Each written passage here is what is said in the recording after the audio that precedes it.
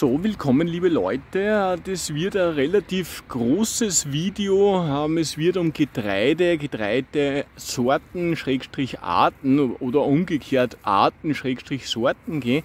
Ähm, und das wird wahrscheinlich so lang, äh, dass nicht jeder durchsitzen kann. Ich werde das so machen, es werden ja verschiedene Getreidearten beschrieben werden. Unten in dieser Beschreibung, da wird so Timesteps, also Sprungmarken vorfinden, äh, wo es nachschauen könnt, äh, wo spricht er denn über dieses oder jenes Getreide im Speziellen. Für die anderen, die was ziemliches Sitzfleisch haben, eigentlich kehrt trotzdem alles zusammen, auch wenn verschiedene Arten besprochen werden. Vielleicht zahlt es sich aus, dass man das ganze Video anschaut. Vielleicht ich habe mir wieder mal einen Schummler gemacht. Das ist ein zehnseitiger Schummler. Ähm, keine Angst, äh, ich werde diese zehn Seiten nicht irgendwie vortragen, sondern das ist für mich einfach eine Stütze, dass ich alles ein bisschen dabei habe, äh, was ich erzählen wollte. Und vielleicht ist eines der wichtigsten Dinge, ähm, es gibt ungefähr äh, allein beim Weizen über 10.000 Sorten mittlerweile. Was sagt uns das? Es ist wahrscheinlich unmöglich für einen Laien, wenn wir draußen spazieren gehen äh, und was bestimmen wollen, dass wir zu 100% sagen können, das ist ganz genau diese Weizen oder dieser Rocken ähm, oder dieses oder jenes, das wird einfach nicht gehen. Es gibt zwar klassische Merkmale, so wie zum Beispiel da diese Krannen, ähm, und da gibt es dann wenn man dann sich genauer mit dem Thema beschäftigt, leider nicht zu treffende äh, äh, Hausmerkmale. Man könnte sagen, der Hartweizen hat Grannen und der Weichweizen hat keine Grannen. Das ist aber leider zu vereinfacht, unter Anführungszeichen. Natürlich, wir Laien dürfen das schon so sagen, weil es eigentlich eh um nichts geht. Aber es gibt zum Beispiel einen Grannenweizen, der was eigentlich zu den Weichweizen dazugehört und der schaut so aus von den Grannen her wie dieser Hartweizen. Einfach, wo weiß ich jetzt, dass das ein Hartweizen ist? Nicht immer haben wir das Glück, dass eine Sortenvermehrung ist, so wie da, und eine Beschriftung gibt. Und da hat man natürlich nachschauen können, weil man den Namen hat, äh, im Sortenverzeichnis, was ist das genau, und somit kann ich da jetzt wirklich sagen äh, und mit gutem Gewissen, um das geht es mir jetzt auch bei dieser Vorstellrunde, dass ich euch alles, was ich sage, mit gutem Gewissen titulieren kann. Äh, ich kann mit gutem Gewissen sagen, das ist garantiert ein Hartweizen. Ähm, aber vielleicht einmal, nachdem das wirklich das Wichtigste war, dass wir sich nicht einlassen sollten auf Endbestimmungen bei Getreiden, sei es jetzt Weizen oder sonst irgendwas, vielleicht von ganz vorne angefangen, äh, was sind denn Getreide?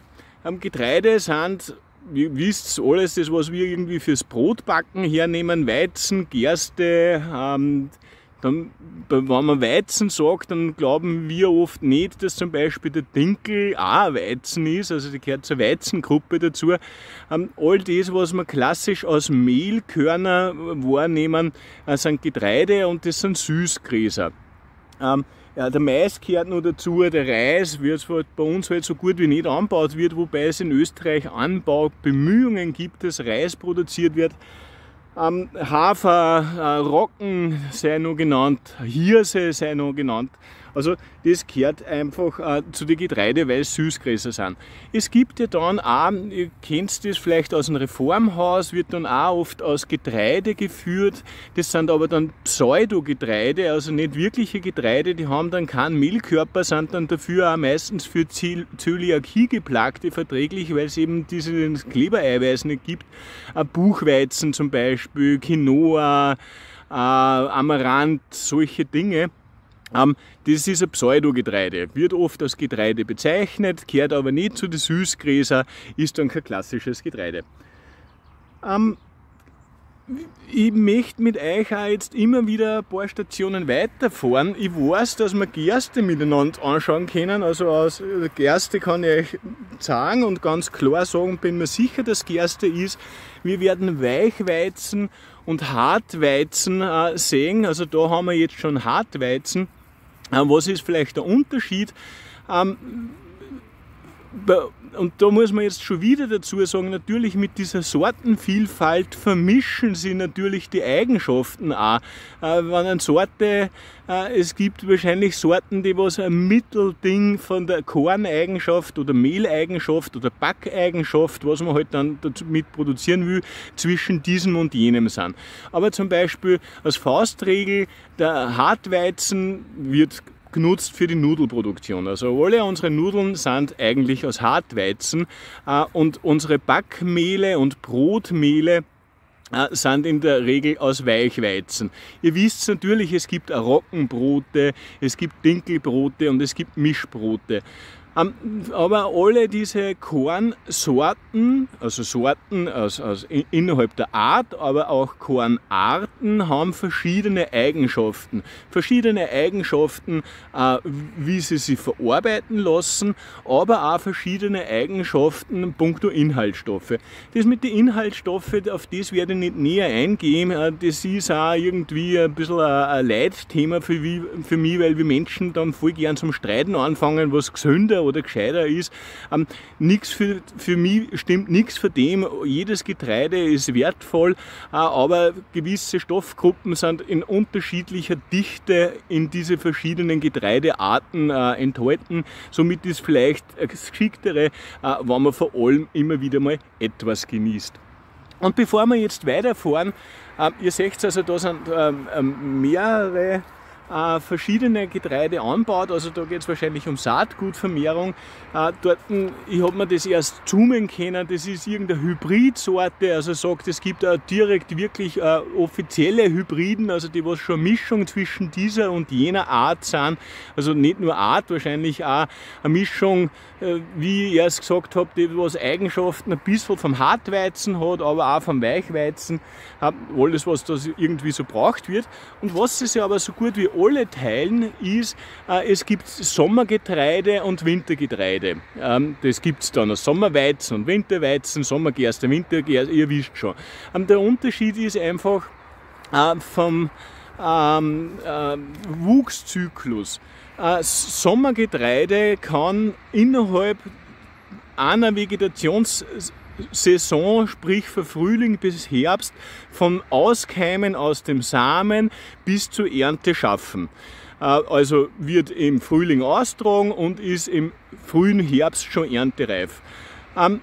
Das ist oft weniger oder in der Regel weniger ertragreich wie die Wintersorten. Die Wintersorten werden eben schon im Winter, also sprich im Spätherbst austragen, fangen dann an zum Keimen und machen die ersten drei, vier Blätter und überwintern dann grün und starten dann im Frühling schon als junge Pflanze mit natürlich einem gewissen äh, Wuchsvorsprung äh, und somit auch mehr Wuchskraft in die Saison, wo dann das Korn gebildet wird. In der Regel sind jene Sorten ertragsreicher. Ähm, das Sommergetreide hat natürlich dann äh, trotzdem seine Berechtigung. Manchmal wird man mit dem Bestellen für die Felder nicht wirklich fertig innerhalb der Herbstzeit. Äh, dann muss ein Getreidefeld nicht unbestellt bleiben. Dann kann man ja im Frühling Sommergetreide ausbringen. Beziehungsweise, wenn über den Winter, auch das kann vorkommen, äh, die, die Wintersaat äh, Schaden genommen hat, dann kann man ja, äh, bevor das Feld unbestellt bleiben muss, nochmal mit Sommergetreide nachsetzen. So, und bevor wir jetzt weiterfahren, äh, schaut, weil ich zufällig äh, da steht, weil ich als Pseudogetreide äh, erwähnt habe. Also das ist da jetzt nicht angebaut äh, aus Getreide, weil so wird man natürlich mit diesen paar wenigen Pflanzen äh, wird man nichts ernten können. Aber das ist der Buchweizen.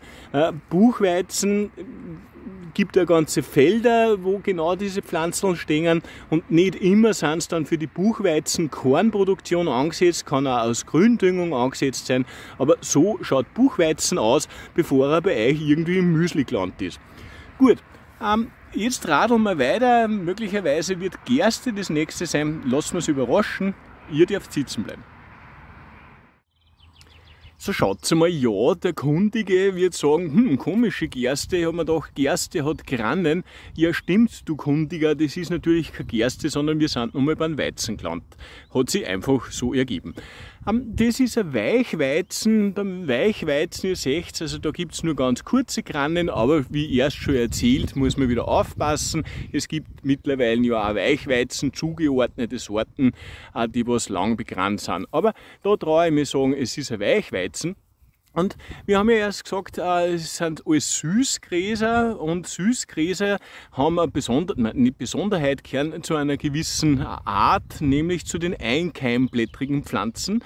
Und einkeimblättrige Pflanzen ähm, haben ganz oft eben genau jenes wie unsere Gräser, also schmal, lang, lanzettliche Blätter mit äh, langnervigen, also da sind keine Netznerven zum Sägen, sondern lange Parallelnerven. Äh, und das, was ich auch immer wieder interessant finde, das Wurzelsystem von einkeimblättrigen Pflanzen ist eben so, dass es nicht irgendwie eine große Hauptwurzel gibt, sondern eine Menge äh, Feinwurzeln, die was da, wenn man sich das anschaut, also da gibt es keine Pfahlwurzel oder irgend sowas, sondern eine Menge dieser Kleinwurzeln. Das hat bei den Einkeimblättrigen eben mit diesem Keimprozess zu tun, also auch da Keim, praktisch ein Keimblatt, ein Keimblatt, einkeimblättrig äh, und äh, eine Keimwurzel und diese Keim Keimwurzel stirbt aber nach kurzer Zeit ab und wird ersetzt eben von einer Menge fast gleichwertig dicker äh, Seitenwurzeln. Also das ist eben ganz typisch für diese einkeimblättrigen Pflanzen. Äh, nicht nur Gräser betrifft es, sondern das ist einkeimblättrig typisch.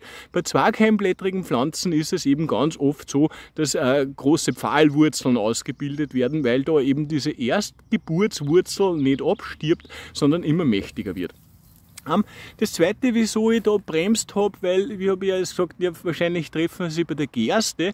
Äh, die Gerste ist jene äh, von diesen Getreide, die was wieder als erstes geerntet wird.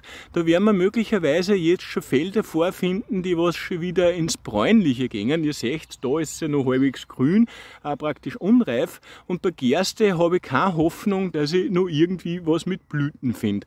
Aber es ist mir ja auch wichtig, dass ich das Blütenthema mit anschneidet. Und schaut, da sehen wir eben noch ein paar Pollenbatschel, seht ihr das? Also dieses Gras hier, also dieses Getreide, ist zwittrig, also Männer und Frauen, alles da drinnen vereint.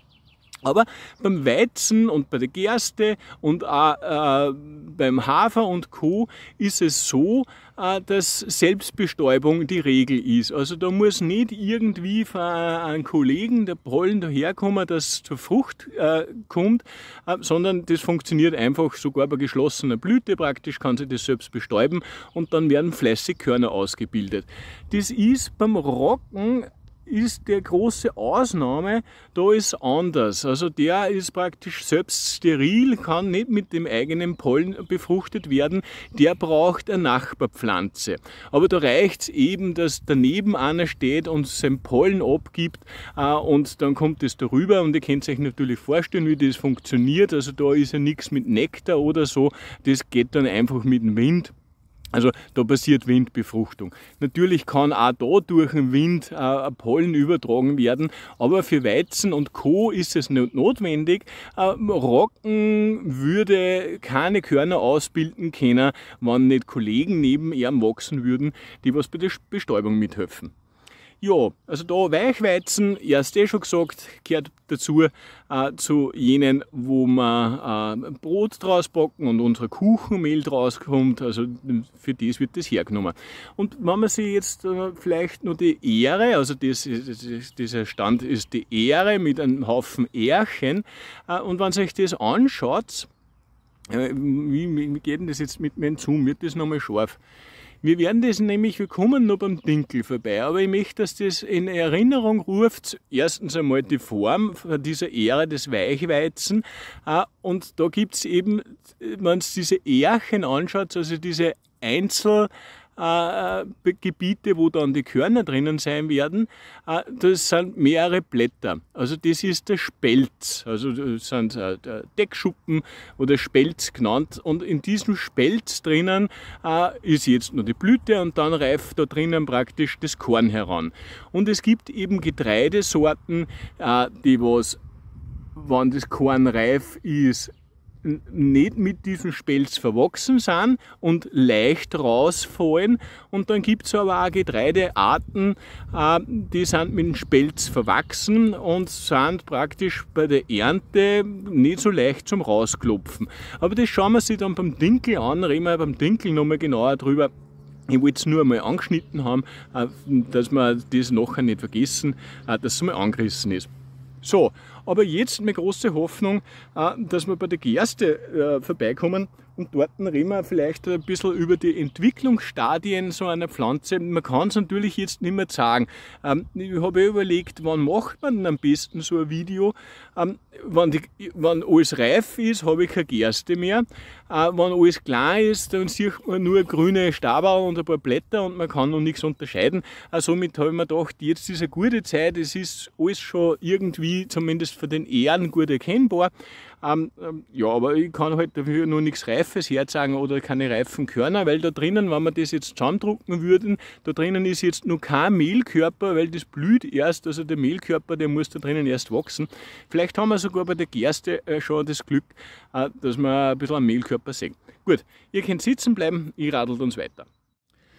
So schaut's mal, da sind wir bei der Gerste und wie seht's? Farblich tatsächlich, also die beginnt jetzt schon wieder zum Reifen, während andere noch am, am, am Schirm sind, beziehungsweise am Blühen sind, äh, wird da schon wieder sichtlich, in was für eine Farbe das geht.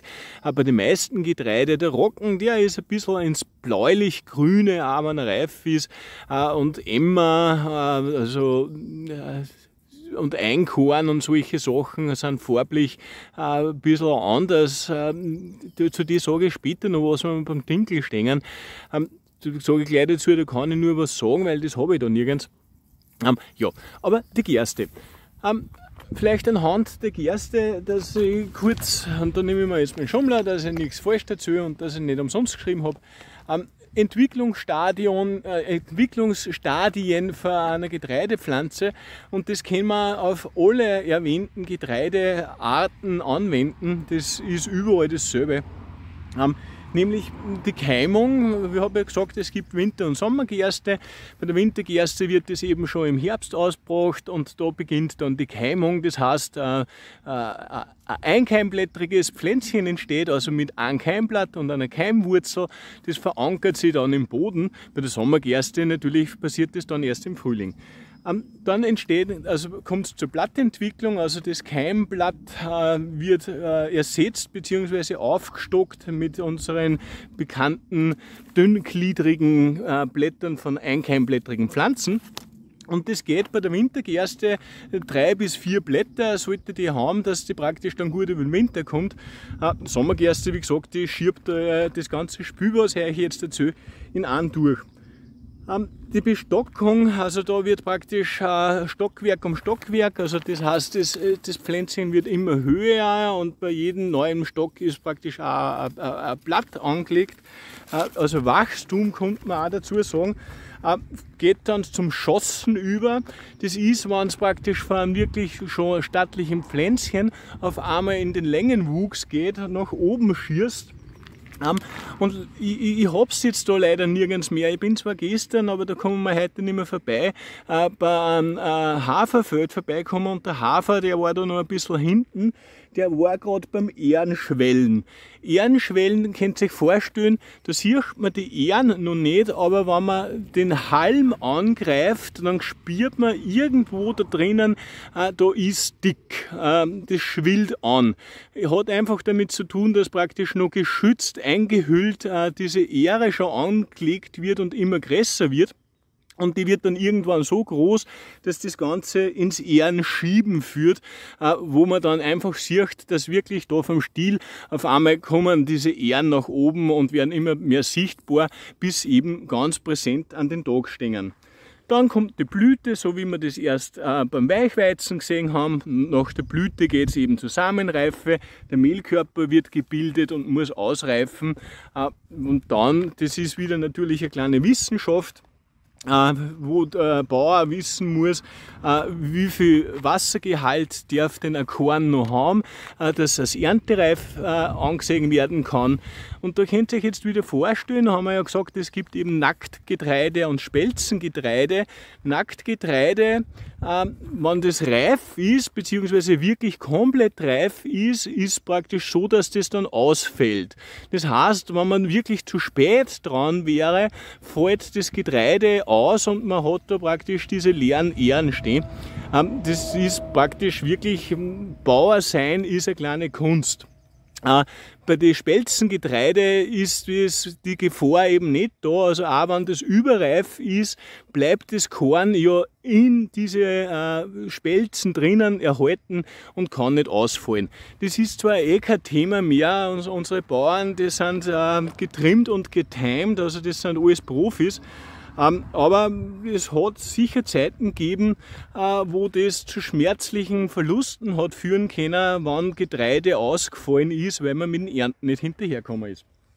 Ja, ähm, Gerste, vielleicht da noch interessant, ähm, nicht nur das Winter- und Sommergerste gibt, die, die äh, Sommergerste wird hauptsächlich fürs Brauen genommen und die Wintergerste hauptsächlich äh, für die Tierfuttererzeugung. Und Sommergerste ist zweizeilig, das heißt, äh, da sind praktisch nur zwei Kornreihen praktisch und wir da, also das ist sicher Wintergerste, die ist vier- bis sechszeilig.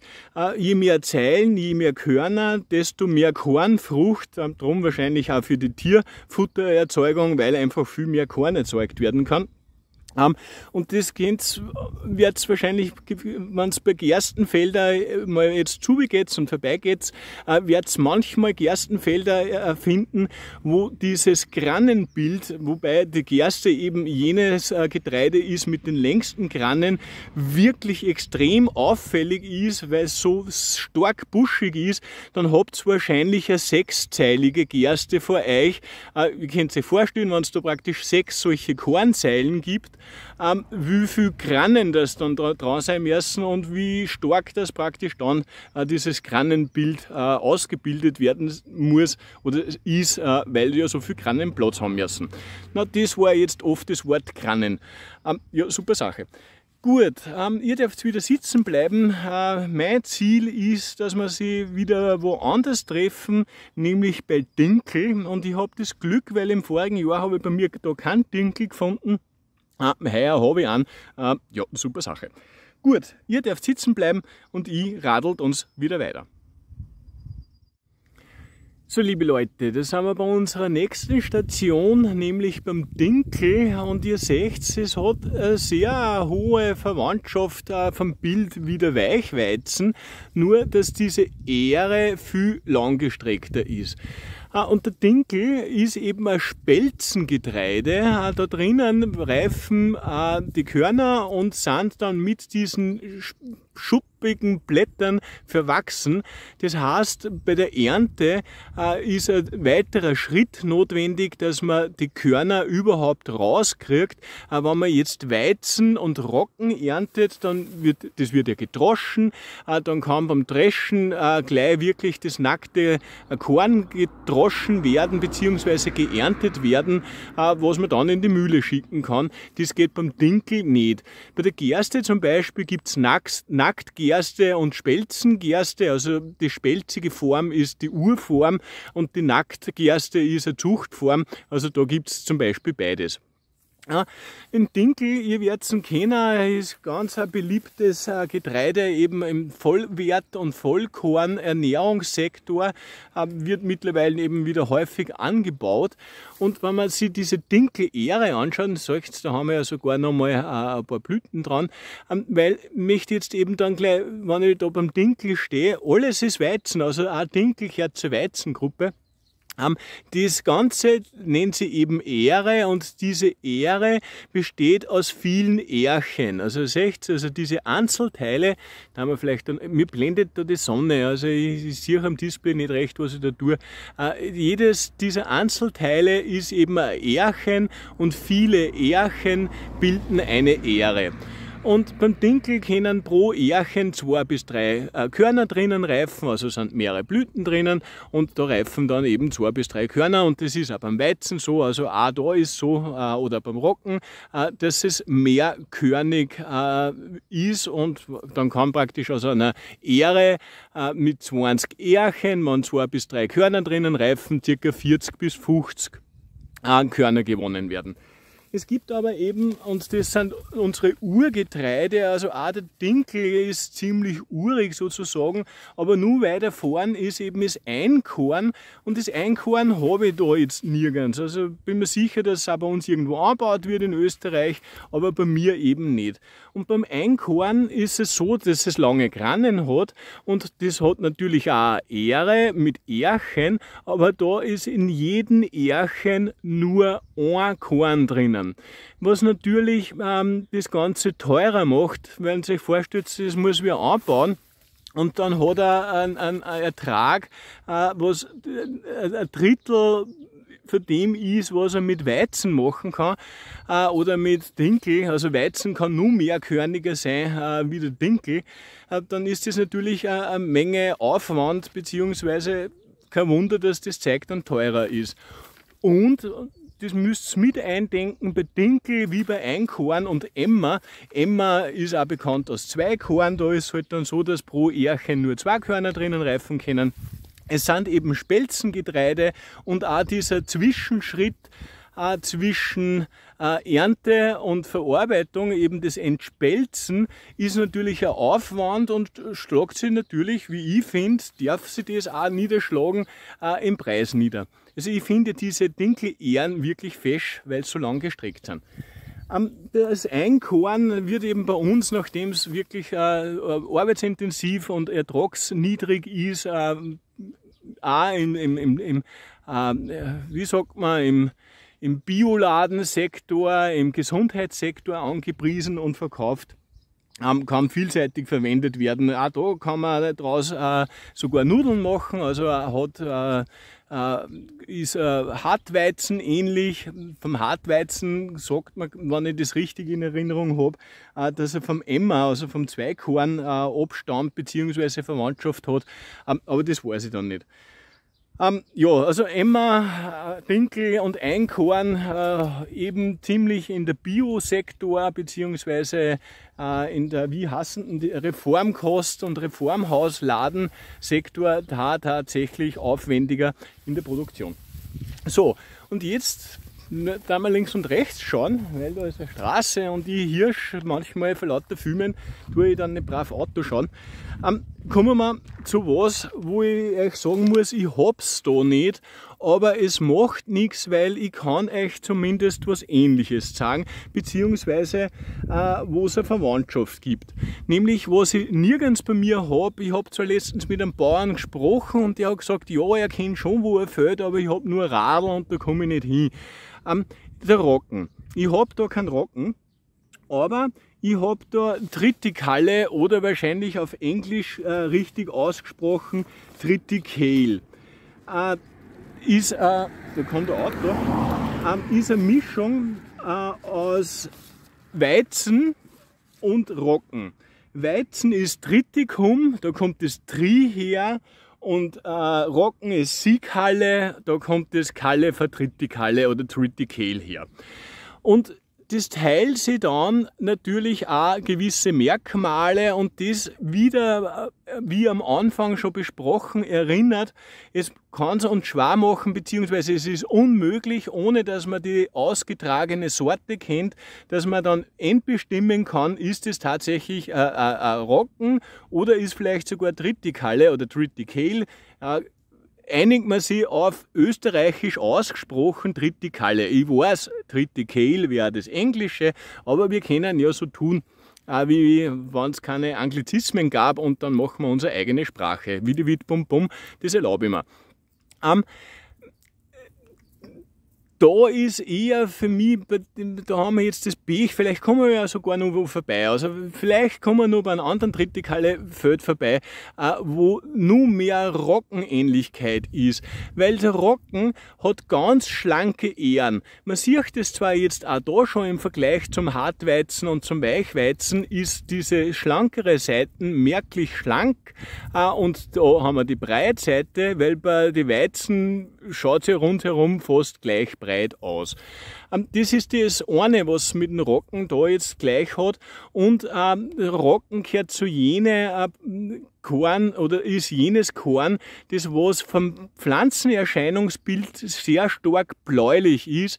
Und nicht nur das Pflanzenerscheinungsbild ist stark bläulich, sondern auch die Einzelkörner werden dann ähm, blau-grün von der Farbe, wenn sie geschält und geerntet sind. Ähm, das Tritikale wird bei uns ganz häufig angebaut, hat natürlich auch damit zu tun, da brauche ich jetzt, ne, eigentlich brauche ich ihn wegen dem jetzt nicht, aber ich möchte da jetzt den Schummler haben fürs Tritikale. Wo habe ich mir das aufgeschrieben? Ähm, ich erlaube mir das jetzt, dass ich das suche, weil ich bin mir sicher, ich habe mir das mit aufgeschrieben. Da. Ähm, Verwendungszweck eben als Futterpflanze hauptsächlich bei uns angebaut. Und es wird aber gern angebaut, äh, weil es einfach mit verschiedensten Böden voll gut zurechtkommt. Also es ist nicht nur eine Mischung aus Rocken und Weizen und alle diese Kornsorten haben natürlich bevorzugte Bodeneigenschaften, die was brauchen.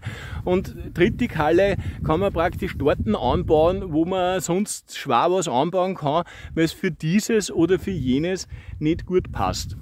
Ähm, ja, jetzt komme ich drauf, dass ich was vergessen habe. Ähm, aber gut, wir kommen ja nochmal wo vorbei, weil es gibt zum Bestimmen, bevor das Ganze eigentlich mit den Ehren zum Sehen ist, gibt es ein Bestimmungsmerkmal, was mit diese Blatt mit diese Häutchen da bei den Blattscheiden zu tun hat. Also es gibt Blatthäutchen, die Ligula.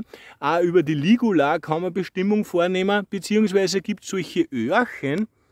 Da sind wir heute halt schon ziemlich weit gediegen. Schauen wir da drüben links und rechts schauen, weil da sind Autos. Äh, schauen wir, wie es beim Winkel ausschaut. Ähm, es gibt nicht nur das Blatthäutchen, das was bei diesen Blattscheiden unterwegs ist, sondern eben Blattöhrchen. Jetzt schauen wir mal, ob ich da noch ein Glück habe. Ja, wir sind da einfach schon ziemlich da, trotzdem. Wir dann da jetzt ein Zoom rein und dann nehmen wir sie anpflanzen. Schaut, da wo da umschließen diese Blattöhrchen, seht ihr das? Also da wird das Grün nur vom Blatt und dann wird es hell und das hell bildet solche kleinen Ringel, das was den Stiel in dem Fall fast umfasst. Kann man das irgendwie sehen, was er meint? Das da. Und da gibt es eben Sprüche, die was man sich relativ eingänglich merken kann.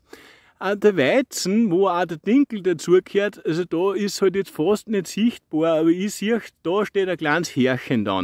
Der Weizen wird mit W geschrieben, auch da ist bewimpert. Vielleicht kommen wir nachher noch beim Weizenfeld vorbei mit einem Standardweizen, auch da sieht man das Bewimperte wahrscheinlich viel besser. Ah, da, da, da sieht man wieder Wimper da stehen. Moment, da ist ein Großhalm. Ah, wie komme ich denn da? Halt euch fest. Da sieht man es wieder da stehen. Also dieses Bewimperte kann natürlich viel mehr sein.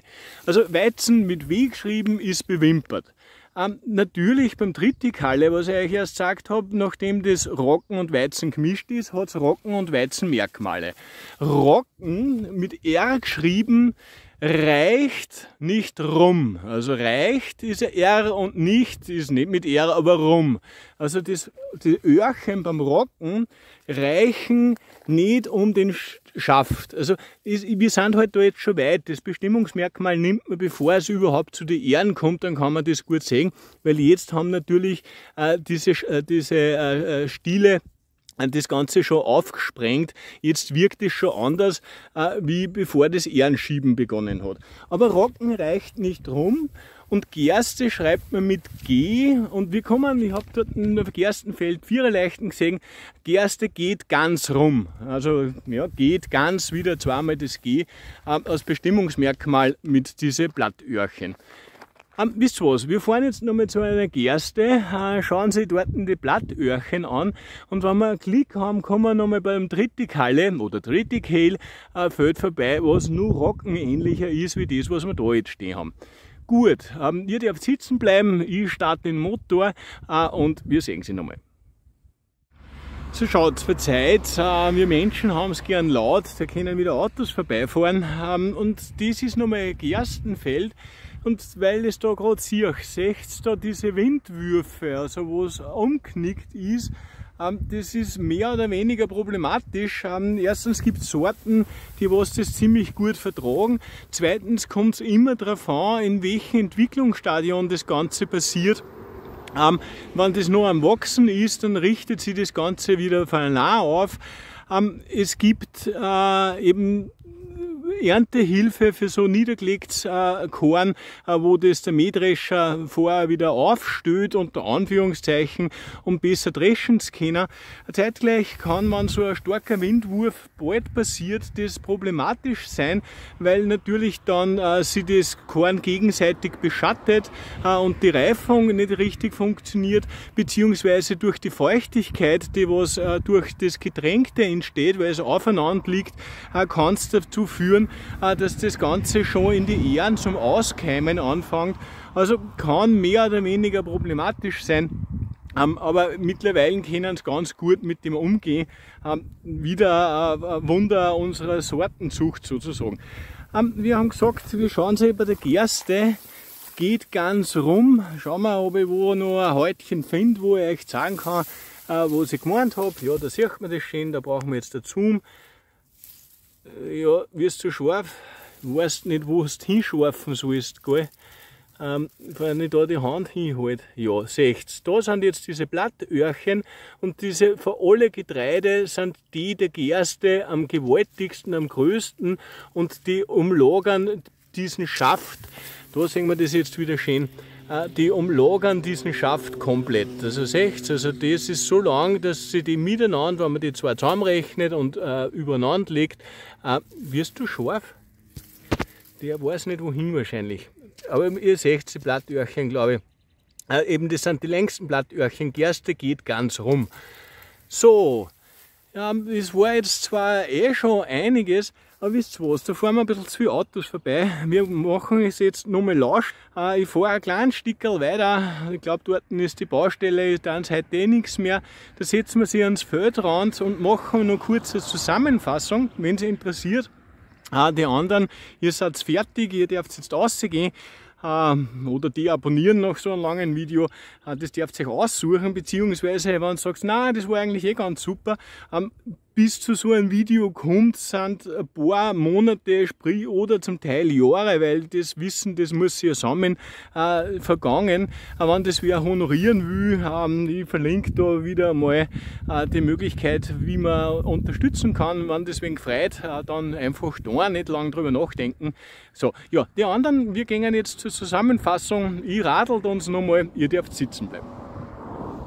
So, bevor ich mich da jetzt mit euch niederlasse und meinen Schummler noch mal kurz durchgehe, schaut, das ist ein Maisfeld und auch Mais ist natürlich ein Getreide, gehört auch zu den Süßgräser. Und da ist das Tolle, da kann ich jetzt schon sagen, da geht es um die Saatgutvermehrung.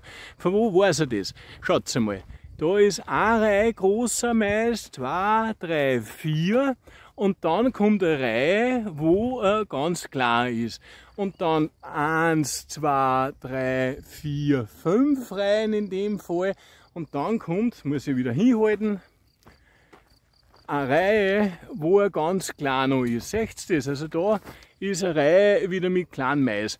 Ähm, und dann wieder 1, 2, 3, 4, wieder klar 1, 2, 3, 4 und das zieht sich da so durch ähm, hat einfach jenes, äh, es ist so, dass äh, der Mais ist einhäusig getränkgeschlechtlich, das heißt ganz oben diese Fahne sind die Männer, die was die Pollen abgeben und die Kolben, die was wir Maiskolben nennen, äh, diese Fäden, was da rausschauen, ist die weibliche Blüte. Und die kann bestäubt werden. Und bei der Saatgutproduktion geht es praktisch darum, dass äh, Kreuzung entsteht mit gewünschten Eigenschaften. Äh, ist eben so, jene Pflanzen da, die was vier große Reihen, die was schon größer sind, die sind natürlich vorher gesetzt worden.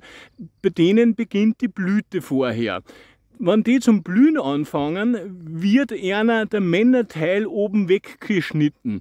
Das heißt, die haben keinen Pollen, den was abgeben können, weil es ist gewünscht für jenen Pflänzchen, die was jetzt nur klar sind, das wären dann die Männergeneration, die was starben dürfen, weil die haben in ihrem Pollener Erbgut, was gewünscht ist, dass dann auf die Narben von diesen vier Hauptreihen übertragen wird. Also das schaut immer ganz toll aus. Da gibt es eine Maschine, die was drüber fährt und dann diese Fahnen köpft, also den männlichen Teil wegschneidet.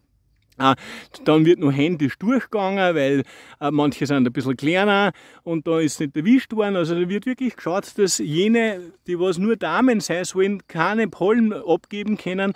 Und dann ein paar Tage später oder Wochen später sind die, was da noch so klar sind, in Blüte und geben dann den Pollen ab, was die Narben da bestäuben. Ähm, ja, super Sache. Aber das eben nur am Rande. Und jetzt hole ich einmal Luft und dann gehen wir das Ganze nochmal schnell durch. Ähm, was wollt ihr sehen? Ähm, wollt ihr mein Zettel sehen? Schaut wie zu null, dass das ist. Aber ist mir wurscht. Also, wie, nein, das Zettel. Schaut die schöne Gegend. Äh, und dort sind Pferde. Also, ihr könnt alles sehen. Also, wir haben gesagt, es gibt Getreide und Pseudogetreide. Getreide sind unsere Süßgräser, typisch eben Weizen, Rocken, Dinkel, wobei eben Dinkel ähm, ein Weizenort ist Gerste, Hafer, Mais, Reis gibt es bei uns so oft und eben diese Mischung aus Weizen und Roggen, das Tritikale oder Tritikale. Ähm, wir haben gesagt, es gibt Spelzen und Nacktgetreide. Die Nacktgetreide fallen, da schaut es fertig, die Nacktgetreide äh, sind nicht mit den Spelzen verwachsen und fallen praktisch aus. Äh, die Spelzengetreide wie Dinkel, äh, und Gerste, wobei es für Gerste auch Nacktsorten gibt äh, und Emma und äh, Einkorn, die sind mit den Spelzen verwachsen und da gehört dann nochmal ein spezieller Schritt dazwischen gemacht, bevor es denn überhaupt zur Mühle gehen kann, weil ja sonst das Korn noch in der Spelze ist. Ähm, ja, und jetzt haben wir gedacht, schauen wir, ja, was filmt er denn da jetzt wirklich? Nein, ist ja wurscht. Ähm, schauen wir nochmal, also Gerste. Ähm, fast überall gibt es Sommer- und Wintersorten, äh, hat damit zu tun, wenn es angebaut werden muss. Ähm, die Gerste äh, wird hauptsächlich hergenommen, ähm, die Wintergerste zum Tierfüttern, die Sommergerste ist eben unser Braugerste. Der Hafer, beim Hafer ist so, dass der keine Ähren hat, sondern eine Rispe. Also Hafer schaut ein bisschen anders aus ich habe leider noch keinen, keinen äh, blühenden Hafer. Äh, Hafer, bitte Fotos auf der Homepage checken, wer, wer, wer kein Bild hat. Ähm, Hafer, ihr kennt eh, Haferflocken, äh, also für unsere Ernährung, aber auch Vieh- und Pferdefutter, wobei es recht energiereich ist. Das Triticale, also, oder Triticale, wie wir sich geeinigt haben, dass man sagen darf, die Pferde, die sind echt interessiert. Die lernen gerade was. Ähm, das ist eben eine Futterpflanze hauptsächlich, aber kann auch für Backwaren und Bier genutzt werden. Äh, und auch wie so manche andere, wie der Mais zum Beispiel, also für die Bioethanolerzeugung, also äh, beziehungsweise manchmal sogar für die thermische Verwertung äh, wird sowas hergenommen. Der Dinkel, haben wir gesagt, ist eher eben durch diesen äh, erhöhten Aufwand bei der Produktion äh, gern angesiedelt im Reformbereich beziehungsweise eben im Vollkornbereich. Hm, Einkorn immer genauso und dann haben wir noch Weichweizen gehabt äh, für die Backwaren, Mehlerzeugung und den Hartweizen eben für unsere Nudelerzeugung. Ja, haben wir also ziemlich was dabei gehabt. Ähm, ich hoffe, es war irgendwie informativ. Ähm, es konnte natürlich immer viel mehr sein. Man konnte Stunden um Stunden äh, drüber sprechen. Aber ich glaube, es macht wenig Sinn, wenn man es zu breit macht. Bitte die Homepage nutzen, wenn noch irgendwelche Fragen offen sind. Ich habe mich dort bemüht, äh, dass ich das auch schön zusammenschreibe. Ähm, links unten äh, in der Beschreibung und eben auch diese Zeitstempel, wenn das nur mal wer nachschauen möchte, unten in der Beschreibung, da schaut die fertig. Ne? Die sind, ja, viel euch. Ähm, ja, und euch, viert euch, wir sehen sie sicher bei einem weiteren Wissensvideo.